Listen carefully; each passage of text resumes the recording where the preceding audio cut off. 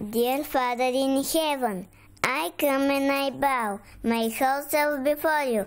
Please hear me right now. I'm glad that you love me. I'm glad that you care for me and my family and folks everywhere. I'm glad you sent Jesus. I know he's your son. I'm learning about all the things he has done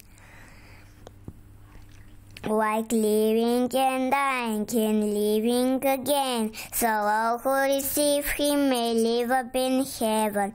I'd like to come see you, but till I can come, please help me to do things as you want them done.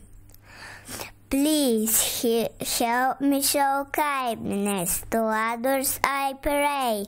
Please keep me from evil and help me obey.